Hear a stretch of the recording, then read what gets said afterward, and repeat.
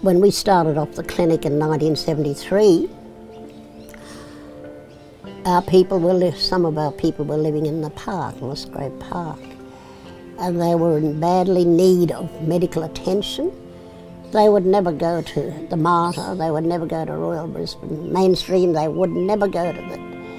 And when we started the clinic at Red Hill, by word of mouth it got out that they had their own clinic, which is more culturally, I use that word quite a, a lot because that's what we are, that's what we need, uh, culturally appropriate. And then by word of mouth, it not only was uh, Brisbane established, we had outer areas too that established health services. The organisation and the board wanted to give people that opportunity and to understand that you can make a difference in two people's lives, but you can also make a difference to your own life.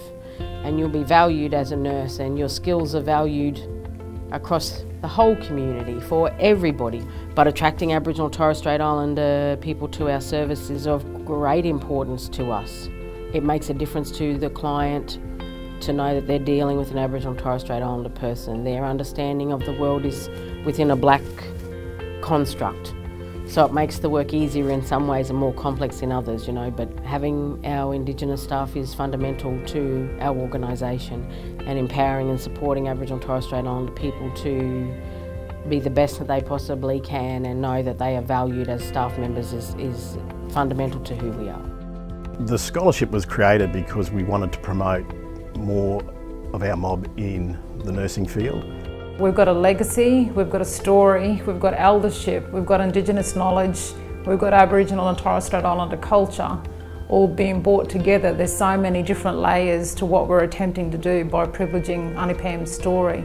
And then upon graduation, the ideal at those, is that those students will actually go back into that service and continue Auntie Pam's work. So there's a full circle and then those students would mentor and support other Aboriginal and Torres Strait Islander students that are coming through the program, the way Auntie Pam Mam mentored and supported Aboriginal and Torres Strait Islander nurses working within the service.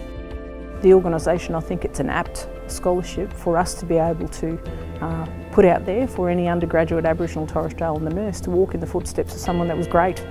You know, this is, this is something that, that our services have grown but they had to start from somewhere, and she was one of the catalysts.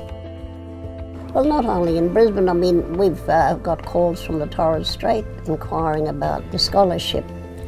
And uh, if we could open it up to the wider Indigenous community, that would be good, with the hopes that when they've completed their nurses' training, that they would come back and work into their own community.